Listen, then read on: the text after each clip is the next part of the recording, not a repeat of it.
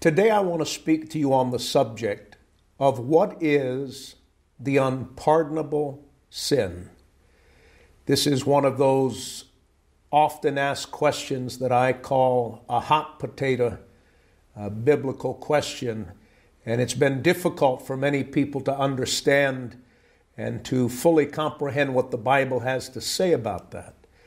Uh, oftentimes, the very brief almost impulsive answer is given the unpardonable sin is blasphemy against the Holy Ghost. Well, uh, what is blasphemy against the Holy Ghost? But as you're going to learn today, that brief, almost trite answer is not really uh, the full story. The Bible has much to say on this subject of the unpardonable sin and so, thank you for joining us. And whether you're watching uh, via video or uh, some form of social media video or our podcast channel, however you're listening to this, uh, in Matthew chapter 12, we're going to begin. And just before we do, let's take a moment to bow before the Lord and pray. Father, once again, as we open up the Holy Bible, let the words of my mouth and the meditation of my heart be acceptable in your sight. And uh, we pray that by the leading and the wisdom and the knowledge of the Holy Spirit, who is the grandest of all teachers, uh, the Holy Spirit is above all in teaching, in revealing, in explaining, and in helping every student who calls upon the Lord for understanding. And so anoint our minds today, anoint our memories, let the Word of God go beyond intellectual seedbed. Let it go to the very depth of our heart and character and fashion us and make us more like Jesus. I pray for those who may be listening to this teaching today who have never personally or publicly repented of sin and received salvation through faith in Jesus Christ, I pray that when the invitation is given at the end of this teaching and that sinner's prayer is prayed, that you'll give people the faith and the courage and the humility to turn from sin and turn to Christ this very same hour.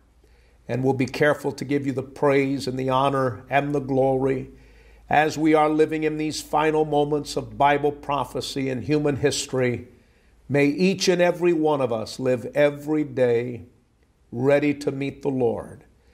And we pray in the mighty name of Jesus. And we say, Amen. Matthew chapter 12, and in the 12th chapter of Matthew, go down to verse 22. I'm reading today out of the New American Standard Bible, and we're going to read beginning at verse 22 all the way down through verse 37. Then a demon possessed man who was blind and mute was brought to Jesus, and he healed him, so that the mute man spoke and saw. All the crowds were amazed and were saying, this man cannot be the son of David, can he?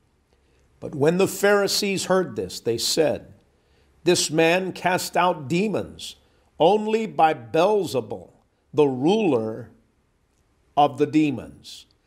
And knowing their thoughts, Jesus said to them, by the way, verse 25, where the scripture says that Jesus knew their thoughts, this is one of the gifts of the Spirit that's available to the believers, as Paul taught in his letter to the Corinthians, and that would be a word of wisdom. Verse 6 Any kingdom divided against itself is laid waste, and any city or house divided against itself will not stand. If Satan casts out Satan, he is divided against himself. How then will his kingdom stand? If I, by Beelzebul, cast out demons, by whom do your sons cast them out? For this reason, they will be your judges. But if I cast out demons, by the Spirit of God, then the kingdom of God has come upon you. Or how can anyone enter the strong man's house and carry off his property unless he first binds the strong man? And then he will plunder his house. He who is not with me is against me, and he who does not gather with me scatters. Therefore I say to you, any sin and blasphemy shall be forgiven people, but blasphemy against the Spirit shall not be forgiven. Pause right there. Verse 31, and you might want to highlight that in your Bible. Uh, but verse 31 is that text that people oftentimes used when they're asked the question, What is the unpardonable sin? Well, they say, Well, you know, Matthew tells us that it's blasphemy against the Holy Ghost. So they're not wrong in saying that. But that is only the doorway into this subject. And there is much in that household of thought, uh, which we're going to uncover for you today. Uh, so let's read verse 31 again. Therefore, I say to you, any sin and blasphemy shall be forgiven people, but blasphemy against the Spirit shall not be forgiven. Verse 32 Whoever speaks a word against the Son of Man, it shall be forgiven him. But whoever speaks against the Holy Spirit, it shall not be forgiven him either in this age or in the age to come. Either make the tree good and its fruit good, or make the tree bad and its fruit bad, for the tree is known by its fruit. You brood of vipers, how can you, being evil, speak what is good? For the mouth speaks out of that which fills the heart. The good man brings out of his good treasure what is good, and the evil man brings out of his evil treasure what is evil. But I tell you that every careless word that people speak, they shall give an accounting for it in the day of judgment. For by your words you will be justified, and by your words you will be condemned. So, there we've read to you out of the 12th chapter of Matthew, uh, one of the classic passages that deals uh, with this subject what is the unpardonable sin? Uh, this teaching falls under our series of hamartiology, which is the theology of the study of sin, and obviously, what is the unpardonable sin falls uh, under that category of theology, hamartiology, hamartiology taken uh, from hamartia in the Greek, uh, which means sin. And so uh, this is the study of sin, and what is the unpardonable sin is where we're headed. One of the things that I want you to remember, and I hope that you have written down in your notes concerning uh, this study on hamartiology and the study of sin, is this most fundamental truth. And as I said in other teachings, if there's only one thing that you learn in our Bible study on hamartiology and the study of sin, it is this. Uh, the most fundamental of all things we learn in the study of sin is God is holy, and we by nature are unholy, and sin separates us from God. Sin will always separate you from God. Now, as a believer, believers have received forgiveness through Christ and through the sacrifice made on the cross. And so, what happens when a believer sins? Well, the Bible tells us in 1 John if we confess our sins, and notice that in 1 John the scripture says, if we, uh, John is writing to the church. Uh, again, always important in your understanding of studying the Bible, understand the author, understand the audience, understand the culture. And I oftentimes add to that the literary genre, but that's uh, not as critical as those first three for the average believer.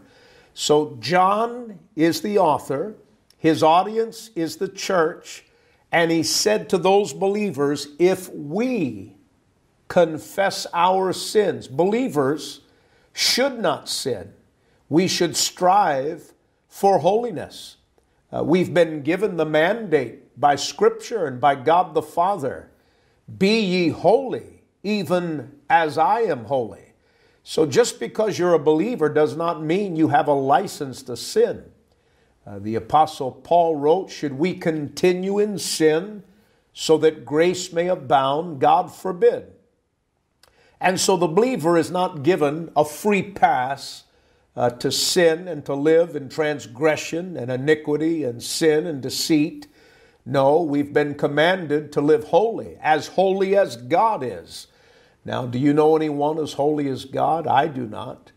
But believers sometimes fail. Believers sometimes sin. But we must immediately, upon sin, come to the Father First John says, if we confess our sin, well, who do we confess sin to? The Father. If we confess our sin, He is faithful and just to forgive us of all of our sins and to cleanse us from all unrighteousness. And uh, that's a prayer that I pray uh, almost every day of my life. I prayed it this morning as I was praying over my uh, notes and praying over my Bible and preparing to come see you and to speak to you and to teach, uh, I prayed those very words. Uh, I, I, prayed, Father, if there's anything uh, in my mind, in my life, in my heart, uh, any sin, any stain that would hinder the flow of the Holy Spirit, forgive me today. Cleanse me. And we need to be forgiven of sins known and perhaps sins that we're not even aware of. But we need to be mindful that God is holy. Now, as a believer, when you sin, that does not separate you from your relationship with the Lord. If you've come to faith in Christ, if you've personally repented of sin, received Jesus Christ as your Lord and Savior, and you were to sin, that does not make you unsaved. Uh, it does not violate your salvation. But listen to what I'm about to say. It can hinder your fellowship. It does not violate your relationship, but it can hinder your fellowship. You need to come to God immediately upon sin. And as I mentioned, you must every day in your prayers ask God to cleanse. Uh, we live in an ungodly world, and uh, sadly, we can get adjusted to all of the sin and the unrighteousness and the godlessness and the carnality and the things that we absorb through social media and through entertainment values. Uh, we may not even be aware of, of how we might be grieving God and grieving the Holy Spirit. And I'm not saying that we should live in a constant state of guilt and, and condemnation, for there is no condemnation to those who are in Christ Jesus. But we must never forget the call to live a holy life. Let me help you with something and encourage you. The greatest key to the blessings of God and God's prosperity and God's favor in your life is holiness. The cleaner you live before God, the greater will be the measure of his favor and blessing and prosperity over you in your covenant.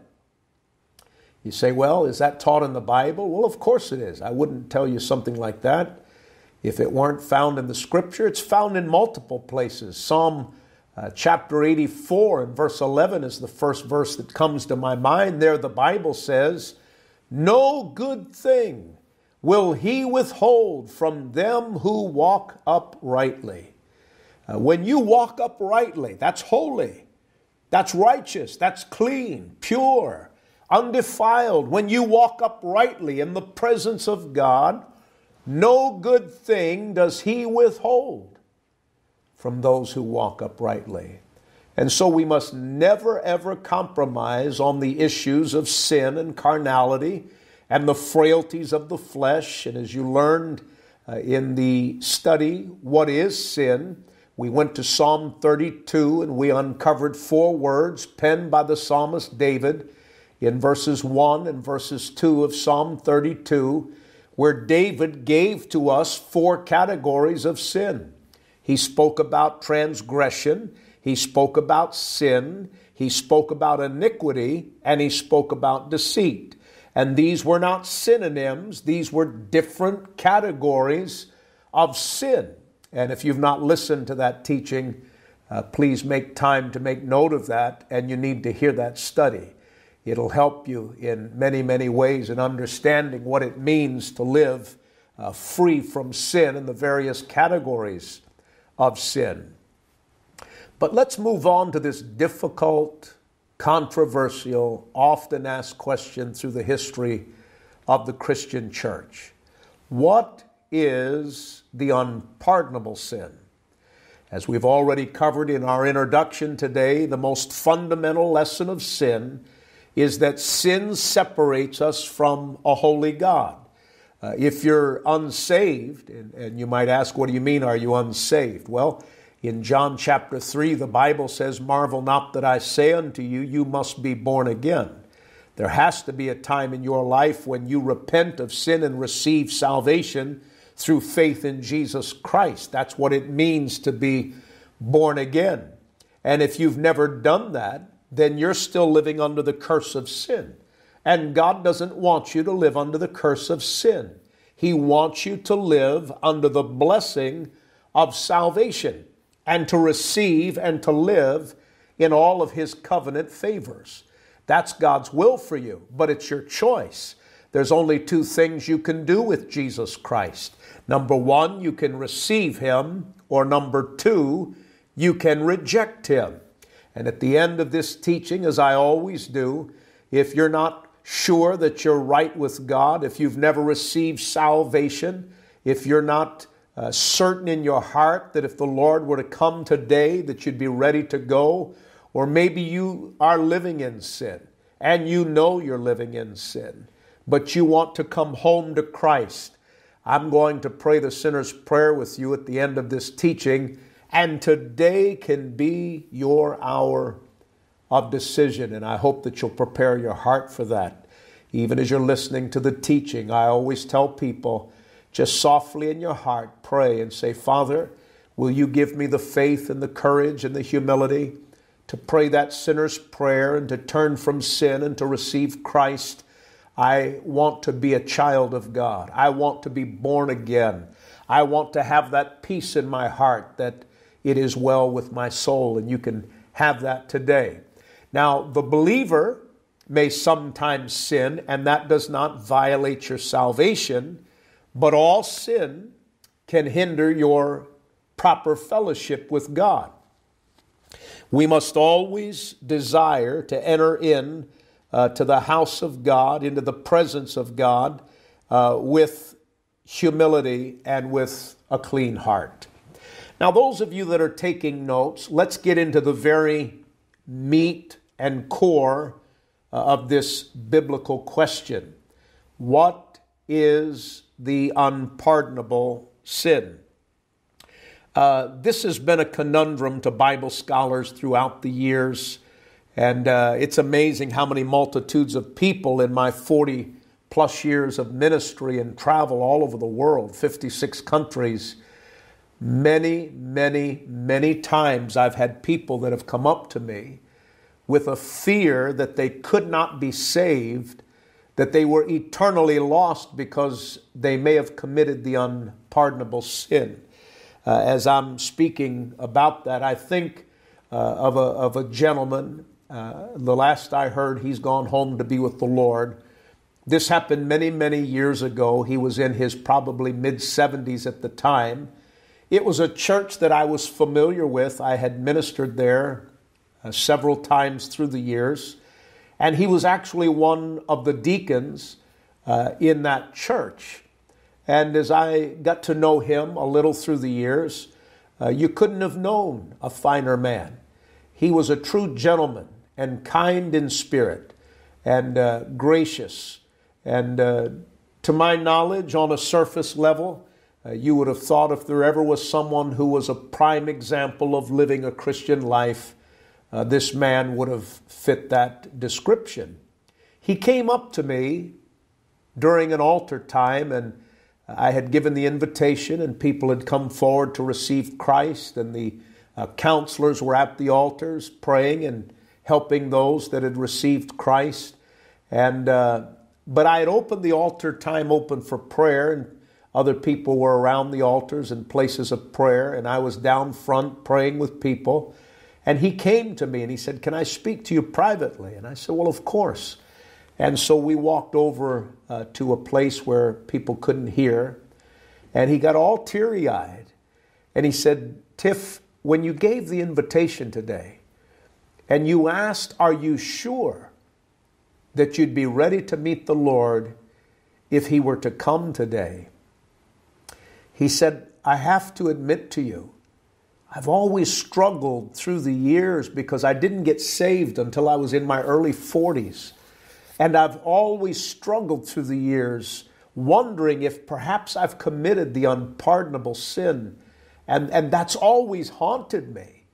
And uh, we had discussion, and I explained to him uh, in a thumbnail as to what I'm going to give you a lot more detail on, on what the unpardonable uh, sin is, and I explained to him why it was impossible that he had committed that. And for some of you today, I'm going to help you to understand because some of you, I think, would be like that deacon in that church that there's this haunting question that may be in your life outside of Christ that you had committed blasphemy against the Holy Ghost, that you had committed the unpardonable sin. And every time this subject comes up, it just kind of haunts you. Well, what if I have committed the unpardonable sin? And countless numbers of people through the years, uh, sadly, have, have been tormented uh, by this.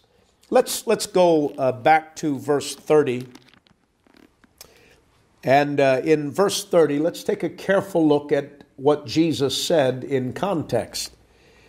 He's addressing the Pharisees because the Pharisees have just accused him of casting out demons by the power of Beelzebul, or you may have a translation that says Beelzebub, or you may have a translation that says Satan. But in essence, that's what the Pharisees have accused Jesus of. They said, You're casting demons out by the power of Satan. Uh, Jesus makes an interesting statement because he said, Well, if that's true, then who has enabled your sons to cast out demons? Uh, well, that's important to us from a theological standpoint because that helps us to know that exorcism, the ministry of exorcism, uh, was available outside of Christ. And we know that to be true. That uh, in church history and in uh, other uh, books outside of the Bible and in, in, in biblical history and first century historians, people uh, were demon possessed, and the ministry of exorcism, which is the casting out of demonic spirits that possess individuals, that there were individuals who had the ministry of exorcism other than Christ. And Christ actually acknowledges that some of his contemporaries uh, and he refers to them as the sons of the Pharisees. And whether it were literal sons, that's not in context from original language uh, what it would mean, but he would mean your contemporaries, uh, other Pharisees, Pharisees who came before you, Pharisees who uh, perhaps are living now, who have also been involved in the ministry of exorcism. Uh, who have they cast out demons by? Uh, do you have the same standard of judging your own exorcists by the same judgment and condemnation that you have pointed to me? And so Jesus is responding to the Pharisees. And so, once again, very important to understand who's speaking. This is Jesus speaking. Matthew's recorded it, but he's recording an actual conversation of Christ, who is Jesus speaking to He's speaking to the Pharisees. Uh, and in verse 30, uh, Jesus said, Anyone who isn't with me opposes me. And anyone who isn't working with me is actually working against me. Pause right there. Uh, you're either a child of God or you're a child of sin and Satan. There's no in between with Christ. You're either a child of God or a child of Satan. You're either living under the blessing of God or under the curse of sin. Uh, that's why I always emphasize, no matter what I'm teaching or what I'm trying to uh, show you from the Holy Scriptures, uh, you need to know that your heart is right with God. And we're going to pray that prayer together uh, in the moments ahead. Verse 31 So I tell you, every sin and blasphemy can be forgiven except blasphemy against the Holy Spirit, which will never be forgiven. Verse 32 Anyone who speaks against the Son of Man can be forgiven, but anyone who speaks against the Holy Spirit will never be forgiven, either in this world or in this world to come. Now, let's get back to an answer that some of you have probably heard. Uh, when asked, What is the unpardonable sin? most of the time, you're going to hear someone, if they know the scriptures, you're going to hear this type of response. They're going to uh, take you to verse 24 uh, of this passage, and they're going to say, Jesus said that blasphemy is declaring the works of the Holy Spirit to be the works of the devil, uh, because that is what the Pharisees did. And indeed, uh, the Bible tells us that when the Pharisees heard about the miracle, they said, No wonder he can cast out demons. He gets his power from Satan, the prince of demons. Now, here's where the mistake on this subject has been made, and here is where much confusion uh, arises from this passage. And if you're taking notes, I want you to write this down. On the subject of what is the unpardonable sin, I'm going to give you a solid gold nugget, and I'll repeat it a couple of times so that you'll have time to write it. But I want you to write this down. More important than what the Pharisees said was the condition of their heart and mind that could utter such a statement. More important than what the Pharisees said. And this is why people get focused on the words. Well, it's blasphemy against the Holy Spirit. They're just concentrating on the words in the scripture that record what came out of the mouth of the Pharisees. But if you're writing it down, more important than what the Pharisees said was the condition of the heart and the mind that could utter such a statement. Because verse 25 tells us that Jesus knew their thoughts so, again, as we always strive to teach you the fundamentals of proper biblical interpretation when reading and studying the Bible, uh, text in context, context within the narrative of the, the entire book. But when verse 25 tells us that Jesus knew their thoughts, that should have drawn the intelligent reader of Scripture to the mind. Jesus was also speaking and discerning the condition of their mind. When the scripture said Jesus knew their thoughts, that takes us beyond just the words that came out of the Pharisees' mouth. For the Bible goes on to tell us out of the abundance of the heart, the mouth speaks. Now, when the Bible says out of the abundance of the heart, it's not talking about the biological organ that we know is our human beating heart that keeps us alive. It's talking about the seated conscience of man, the very soul and spirit of man. That's why in Proverbs and the fourth chapter, the Bible says, above all, guard your heart, the spirit of the inner man, the spiritual inner man. Above all else, guard your heart, for out of it are the issues of life. In Proverbs chapter 4, when the Bible says, above all, translated from the original language, uh, that's about as powerful a priority as we could render that into English verbiage. But when the Bible says above all, think of the power of that.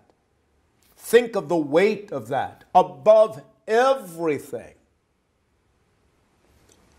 guard your heart, for out of it are the issues of life. And Christ, in dealing with the Pharisees, knew their mind, he knew their heart, he knew their motives, he knew their intent. And so the very text tells us that Jesus was not focused just upon the words that came out of their mouth. He was focused upon where those words came from. In other words, he moves from beyond audible sound and words to the spiritual condition what is the spiritual condition of the Pharisees' heart and the Pharisees' mind that they could utter such a condemning and judgmental statement against the very Son of God? Now, I should give further detail on that because I think, uh, number one, you deserve to understand this in deeper context, but you also need to know uh, that this is uh, not my opinion, this is not my interpretation. Uh, I think most of you that follow our ministry and have listened to us teach, uh, when we exegete the scripture, we literally pull it apart almost word for word, and when necessary, we'll pull it apart word for word uh, from original languages. As I always tell you, it's not important uh, that you become a Hebrew student or a Greek student or that you understand these biblical languages, or as you've heard me teach through the years, the actual Hebrew of the Bible is a dead language, uh, and the actual Greek of the New Testament uh, is a dead language. These two languages in the Bible, and of course, we have passages in the language of Aramaic as well, but these are not the languages that are spoken today. The Hebrew of the original Old Testament is not the Hebrew that they speak in Israel today and parts of the world.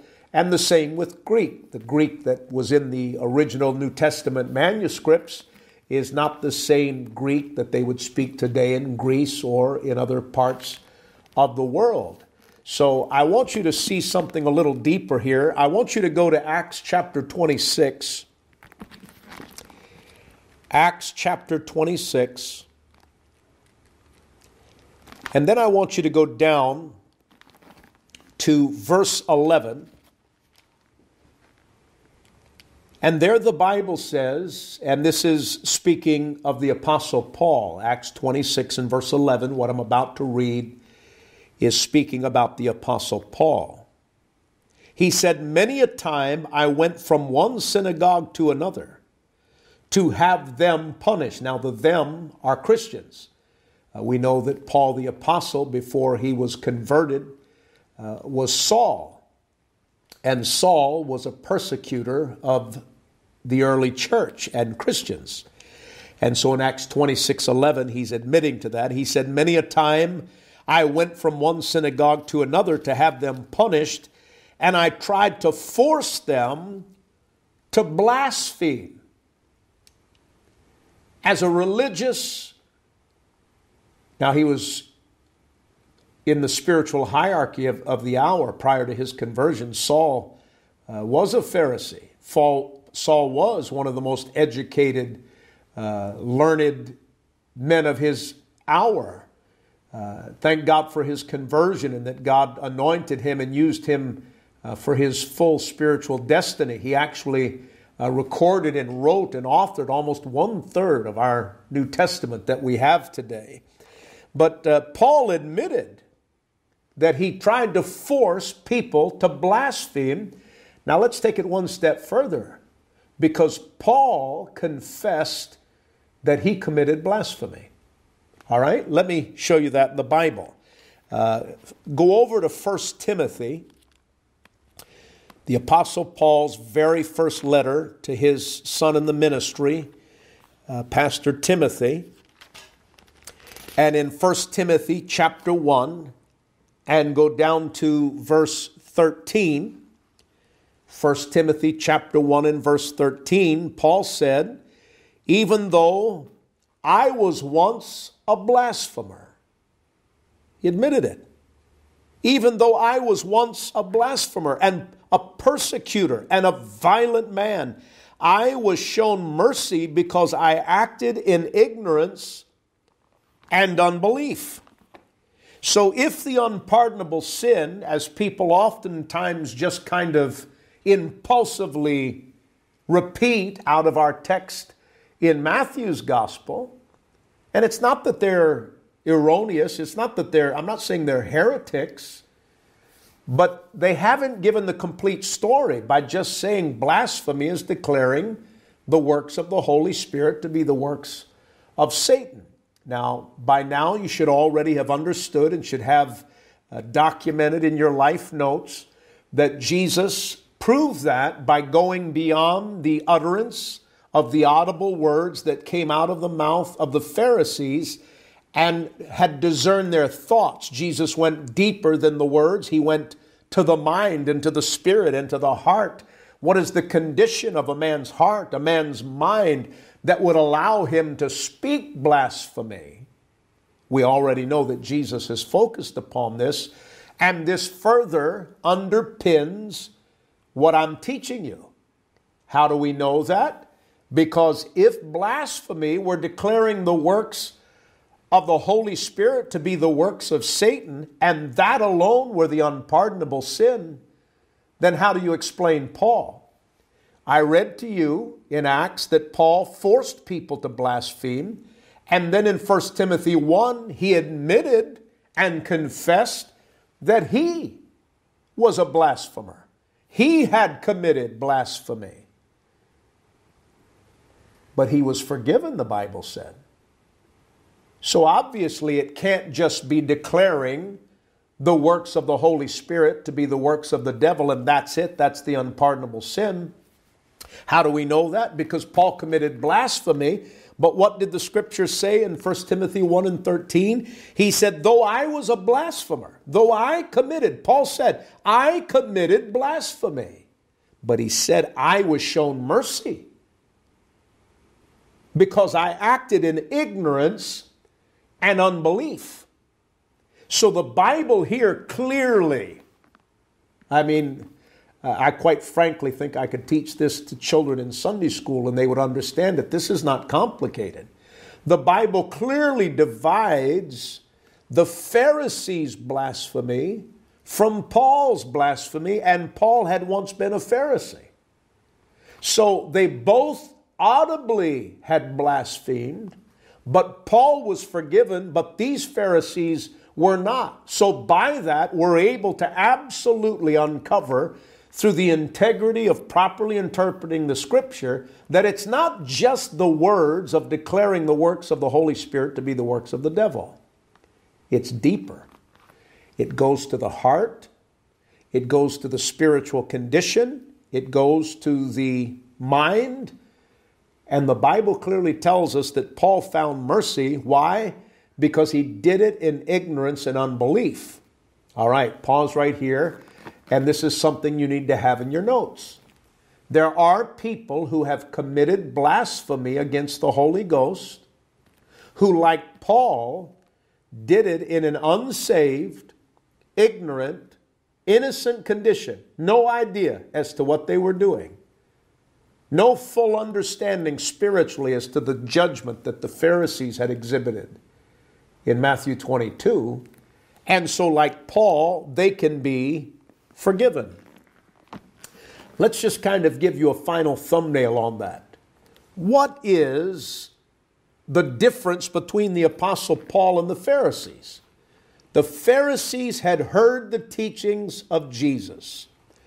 Uh, I want you to write these things down because this is the very crux of the matter as we come to a conclusion. The difference between the Apostle Paul and the Pharisees.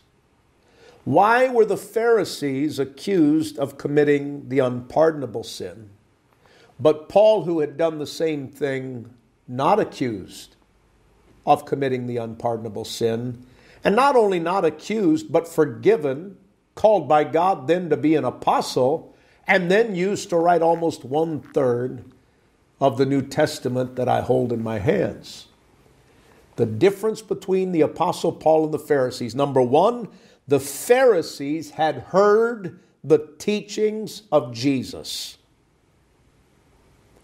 You see, when Paul had committed blasphemy, he had never heard the teachings of Jesus he had yet to fully understand. He had heard about, but had not fully spiritually heard with spiritual ears. It's one thing to hear with a physical ear, it's another thing to hear with your spiritual ear.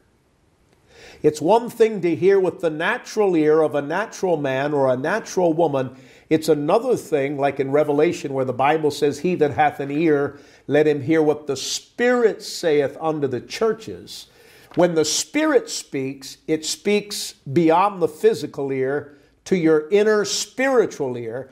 Once you receive biblical truth through the spiritual ear, there's a different level of accountability that's attached uh, to that. So, number one, the Pharisees had heard the teachings of Jesus. Number two, the Pharisees had been eyewitnesses to the miracles of Jesus. They not only heard his teachings, but they saw the demonstration that validated his teaching. Number one, they heard his teaching. Number two, they were eyewitnesses to his miracles. Number three, they had heard the invitation of Jesus to turn from sin and to turn to God. Very, very important that you not only understand these three things, I hope that you'll have these in your life notes, and I'm going to go over them again because this is the very heart of the matter. And this is where we begin to see the full biblical understanding of what is the unpardonable sin. Jesus in Matthew 22 discerns their thoughts, so he's not just focused on the words that came out of their mouth and the blasphemy by the audible words of declaring the works of the Holy Spirit to be the works of Beelzebul or Beelzebub or Satan. But he goes beyond their words to where did the words come from? Out of the abundance of the heart, the mouth speaks. Three things that separated the Pharisees from Paul and why the Pharisees will suffer the judgment thereof. Again, number one, the Pharisees had heard the teachings of Jesus. Number two, the Pharisees had been eyewitnesses to the miracles of Jesus. And number three, the Pharisees, one on one, personally, had heard the invitation of Jesus to turn from sin and to turn to God. And after these three things, the Pharisees rejected him publicly. Very important. They rejected him publicly, as they did in this passage that I read to you. Not only did they reject him publicly, they declared his ministry to be the work of Satan. Wow. Wow, that's heavy. If you understand that, that's weighty, weighty, weighty.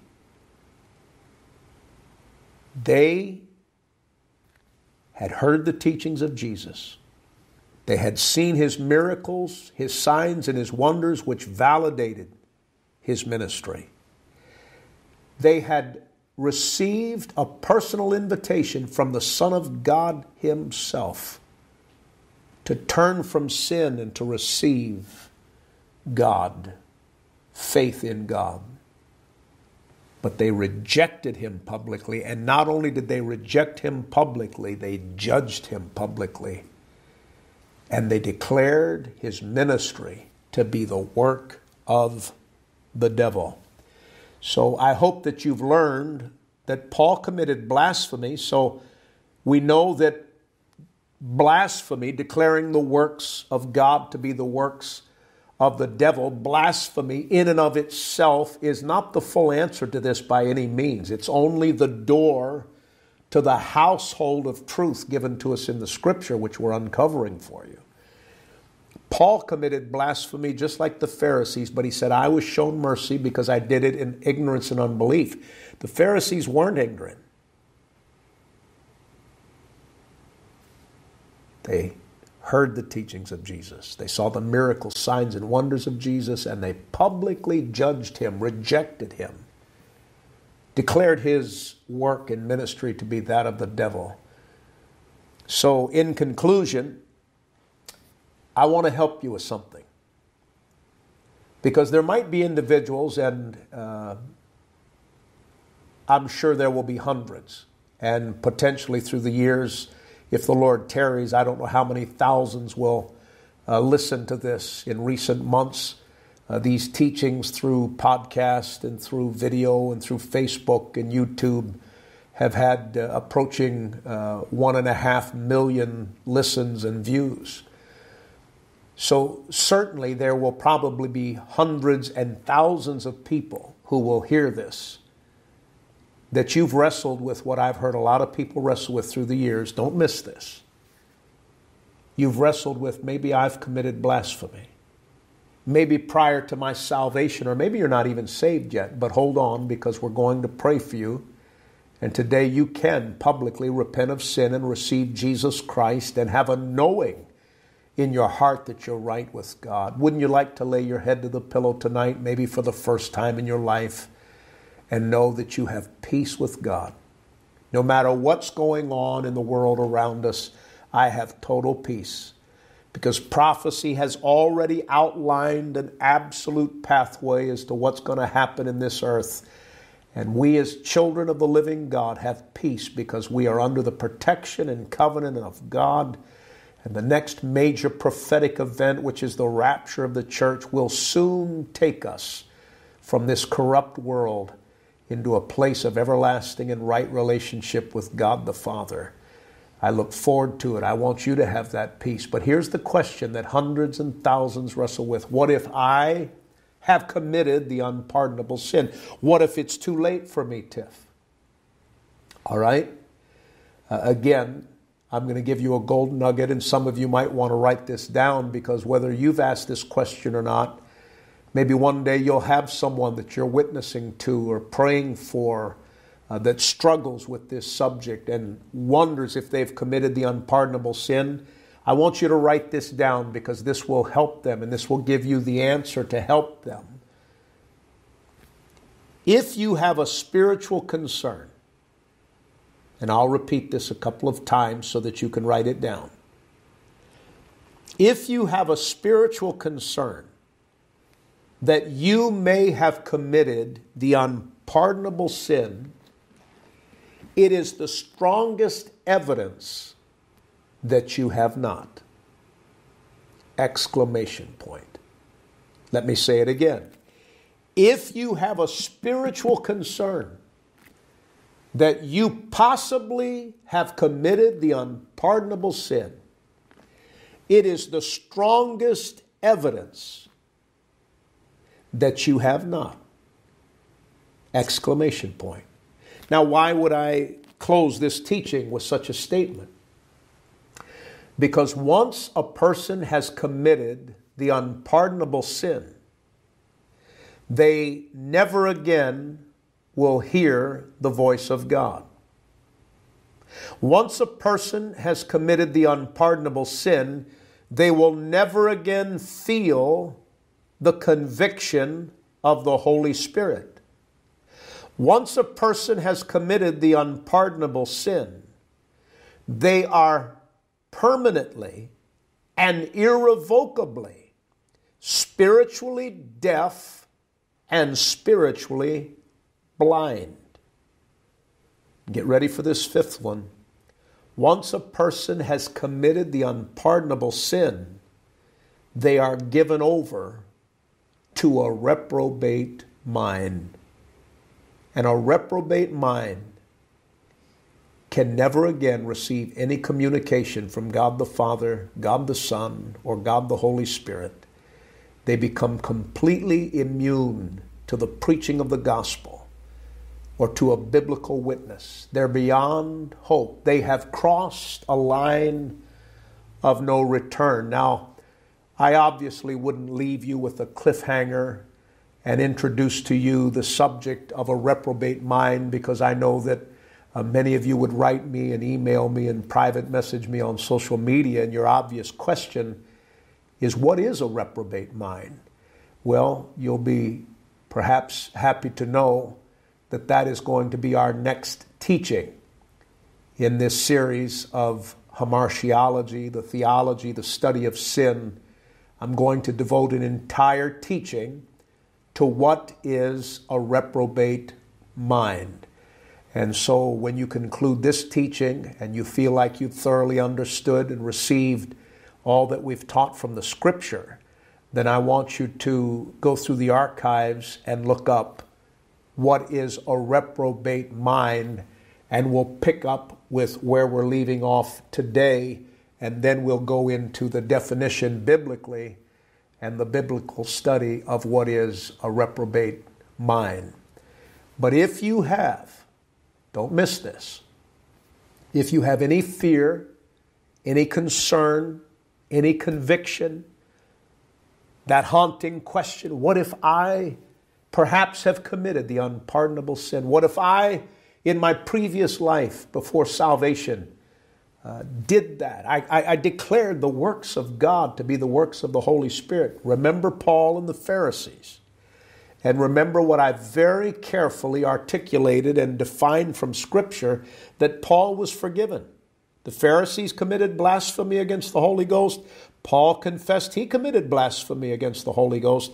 The Pharisees had committed the unpardonable sin. Paul was shown forgiveness and mercy because he was innocent and ignorant and did it in unbelief and not realizing what he was doing. Because it's not just the words audibly of declaring the works of God or Jesus or the Holy Spirit to be the works of Satan it's the condition of the heart, the mind, the spiritual condition. What would be the spiritual condition of an individual who could utter such judgment and utter such words? Paul found forgiveness, and if you have any concern at all, you'll find forgiveness. Because if you had committed it to the extent where it were truly the unpardonable sin, then there's no forgiveness. There's no spiritual conviction, there's no spiritual concern. The fact that you have concern is proof, it's the strongest evidence that you have not. But nonetheless, you need to turn from sin and turn to Christ. So let me close and then we'll pray. I want to give you uh, a brief summation of what is the unpardonable sin. And uh, I hope that you'll also take the time to listen and re listen to this and be sure to secure this and write this in your notes. The unpardonable sin is an attitude of the spiritual heart that says, I am going to reject God. I have heard His word. I have seen his power. I have felt his presence. I have received his invitation to turn from sin and turn to God, but I'm going to reject it and I'm going to live life my way. That's exactly what the Pharisees did. And that is a biblical and proper definition of what is the unpardonable sin. Let me give it to you one more time. The unpardonable sin is an attitude of the spiritual heart that says, I'm going to reject God.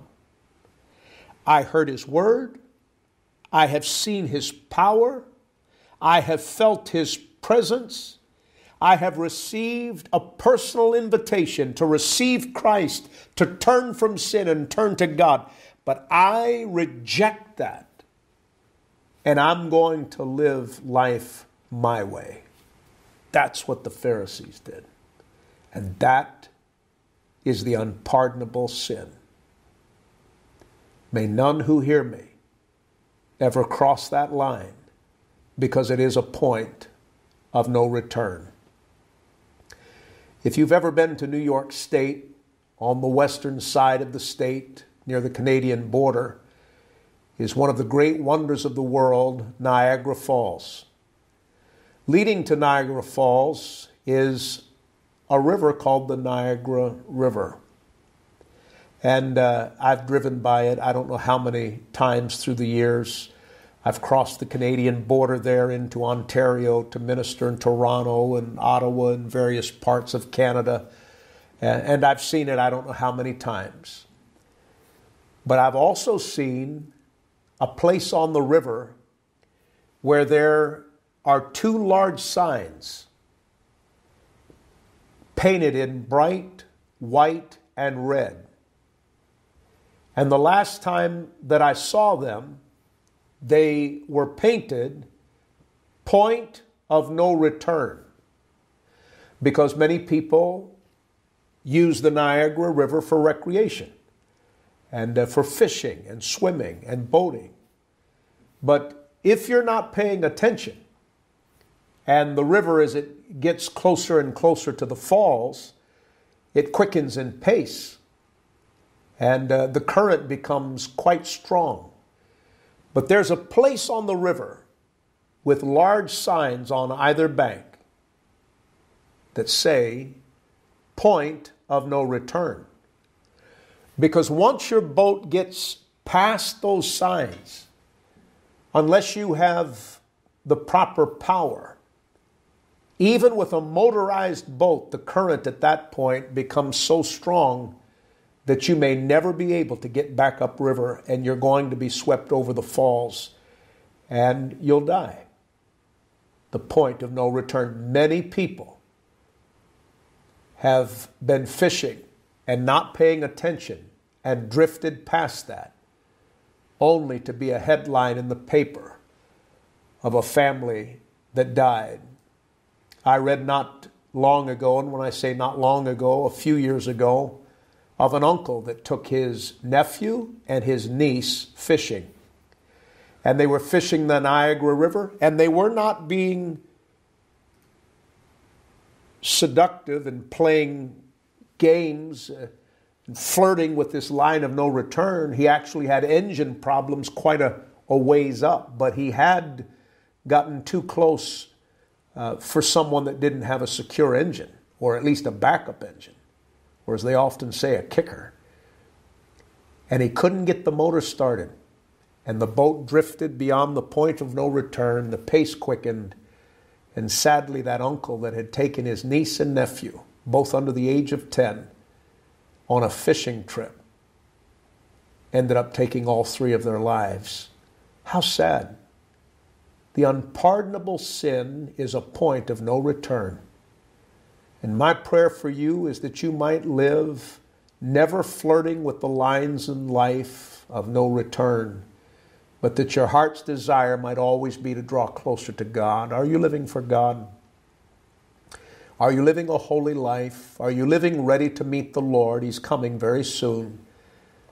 Do you know that you know that you know that your sins are forgiven and that your heart is right with God? I'm going to give you an opportunity to pray with me right now a sinner's prayer. And it's amazing how many people in the days and weeks ahead will find this broadcast and will get to this point and realize their need for Christ and have the humility to come to Christ. Do it today. Do it now. Do it while there's time because there is a point of no return, not to mention Christ is coming soon, and at the sound of the trumpet, that is a point of no return as well. You need to make your decision now Pray this with me. If you have any question in your heart, if you've never given your heart to Christ, if you're backslidden away from God, if you've gone through some situation in life physically, mentally, spiritually, financially, that's caused you to get mad at God or to get mad at the church or to drift away from the Lord, come back home today. There's still time. Pray this with me right where you're at, out loud. Just say, Heavenly Father, today as I was listening to the Bible, I felt you calling to me, and I want to receive Christ. I don't want to reject him. I don't want to face the judgment and the wrath of God. Today I choose forgiveness. I choose heaven. I choose Jesus. Heavenly Father, today I admit my sin and I repent in childlike faith I turn my back on sin and I turn my heart to Jesus Christ. I receive salvation as the gift of God, not by my works, but because of the cross and the price that the Son of God paid. He died, He was buried, He rose again. He's coming soon. Today, as I receive salvation, keep me ready for that soon return. I vow today I will live for Jesus Christ. I surrender all of my life, all of my heart into the hands of God who does all things well. And I trust you. In Jesus' name, amen.